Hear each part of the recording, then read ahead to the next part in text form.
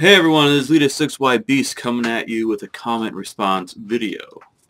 So this guy, Monte Carlo, oh sorry, 84 Monte Carlo sent me a message yesterday uh, saying something that's kind of perplexing to me. It says, yeah, but now when my mag empty, the bolt stays closed, not open. How do I modify it to stay open?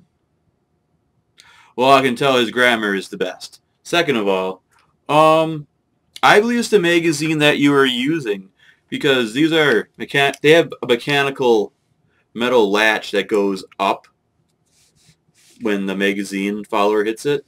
So like if I would open this like so, I guess kind of see through it, the light's gonna be kind of shit.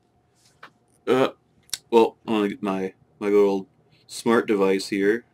Doo -doo -doo. Maybe that'll help. That helps to an extent. But uh, you can see that tab, and I will try to push on it, keep the light on it. Whatever, you kind of seen it, I guess. So I push that tab, and it keeps the bolt, and it keeps the bolt open. This is not a very good lighting area. Whatever, it keeps the, the bolt open. Oop. So yeah, the bolt stays open because there's a sliding tab.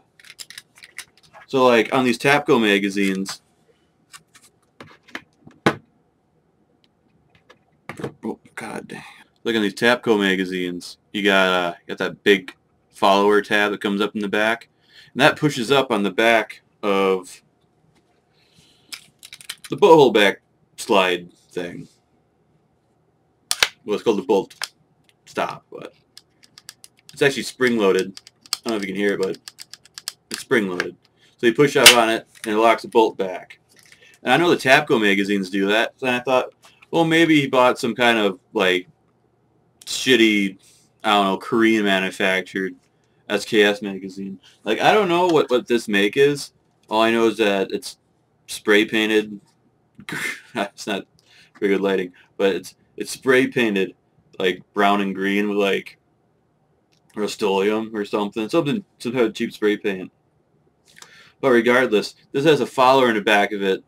It's exactly like the Tapco one, even though it's not the Tapco one because this one is a different design on the top of it. But regardless, this one, grind the bolts back anyway. Trying to do this all in one take, but I can't because now I got better lighting this way. But anyways, you can see through it. So now I'm going to leave the, the weapon open because the only way that accepts new magazines is with the action open. So I got one of these magazines, like I should before before I turned off. So we're going to slide her in. And it fits. Now, bolt locks to the rear. So clearly, I think he has a magazine issue. Because the only things I have, I got like a few of these Tapco magazines, and, and I think I got that one metal magazine, which I think is Chinese. I know it ain't Korean because it actually works and it's built good. So, yeah, those fit. Locks to the back. So, 88 Monte Carlo. I don't know. I think it's your magazine, to be quite honest. And if it's not your magazine, like, was it working like a regular SKS before? Because it could be just that your uh, your bolt release is kind of shit. I don't know. The only thing I think of is a magazine issue. There should be nothing you should modify on your gun that would affect your, your bolt release or your bolt stop. Either or. Interchangeable. So it probably has to be magazine issue. So this is Lita 6YB signing off saying have fun, happy gunning, be safe. Ah.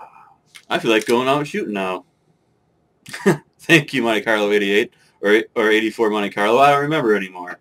oh, let's see. Oh, wrong button. Yep, 84 Monte Carlo. Bye.